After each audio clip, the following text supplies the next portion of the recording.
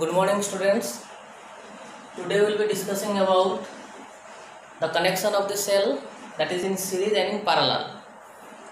So here you see we have taken two cells each having EMF E1, E2.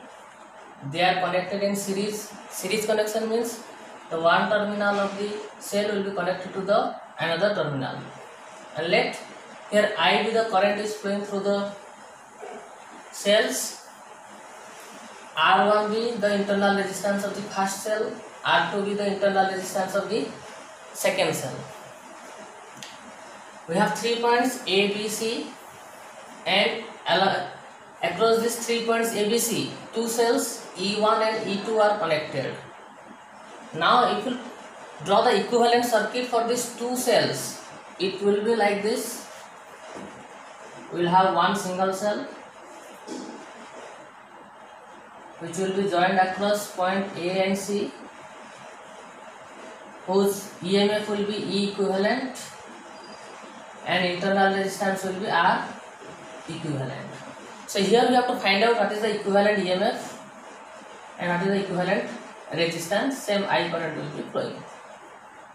Okay and uh, also I mentioned that the VA is the potential at the point A, VB is the potential at the point B and VC is the potential at the point C. So, step by step we will proceed and will find out what is the equivalent EMF and equivalent resistance. Resistance is the internal resistance. So now, let us first calculate what is the potential difference across the point A and B.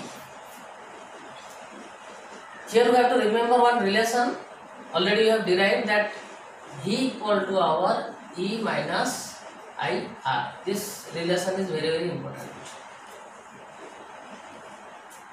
So now see the potential difference across the point A and B. VFB will be equal to A is the higher potential at higher potential B at the lower potential so it will be VA minus VB and this will be equal to our according to this relation E1 minus IR1 VFB will be equal to our E1 minus IR1 give it equation number 1 similarly the potential difference across the point B and C V BC will be equal to here also the B point. This side is at higher potential.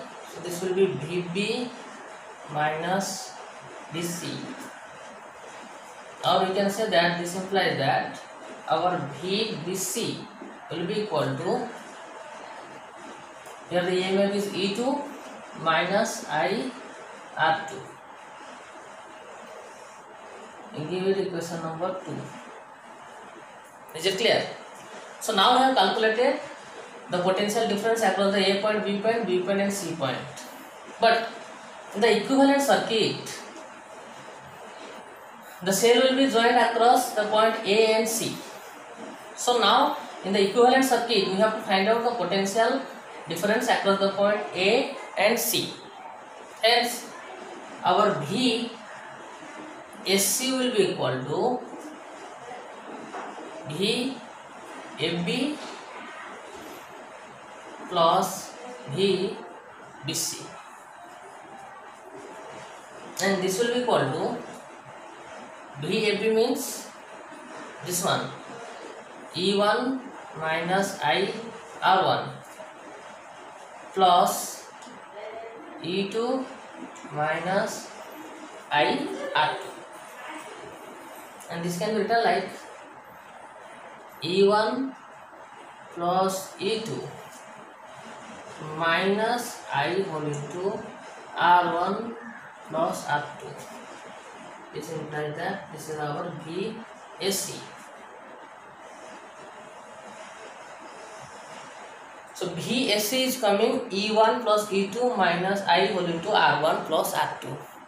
This is for this equivalent circuit. So if you have a one circuit in which the EMF will be E equivalent and R will be raise internal resistance will be R equivalent this equation can be written like V S C equal to E equivalent minus I R equivalent